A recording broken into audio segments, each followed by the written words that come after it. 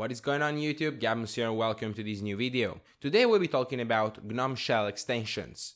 As you know, GNOME is one of the most popular desktop environments for Linux, and it's the default choice for Debian and many other distributions. But if you know it, you may agree with me saying that it's not great by default.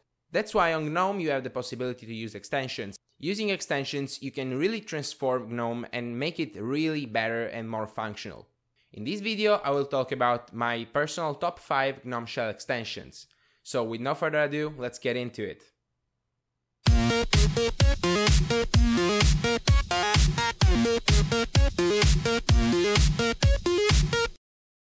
Number 5 NetSpeed, a really simple but incredibly useful extension.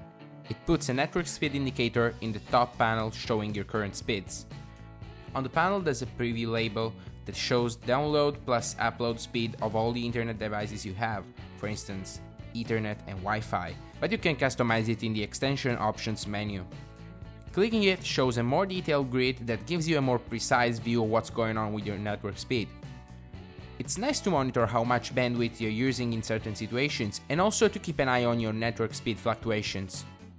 Number 4 Easy Screencast it's the extension I'm using to record the screen right now.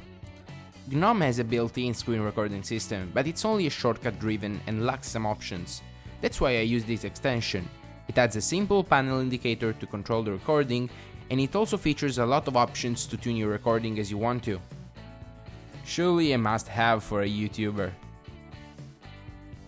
Number 3 Laine, a full-featured audio mixer indicator that gives you full control on your audio sources.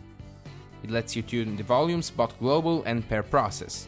It also has media controls and source switchers for both audio input and output. It's like having PulseAudio volume control in your panel. Number 2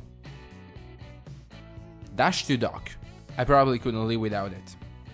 It takes the GNOME Dash and makes it into a dock kinda like Plank on Elementary OS or the Unity Launcher on Ubuntu.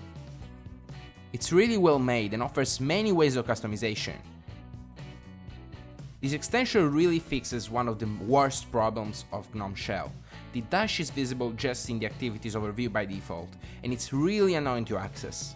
With Dash to Dock, you get a far more friendly and efficient user experience. I really love it. Number 1 Gno-Menu. This is probably the most complete extension you will find on GNOME.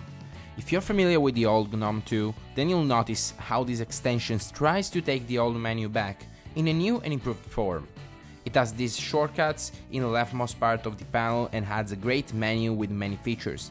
It has Nautilus shortcuts in the left sidebar, shortcuts for your favorite apps and recent documents, virtual desktops control, power controls like reboot, shutdown, logout, and most importantly, a categorized application menu.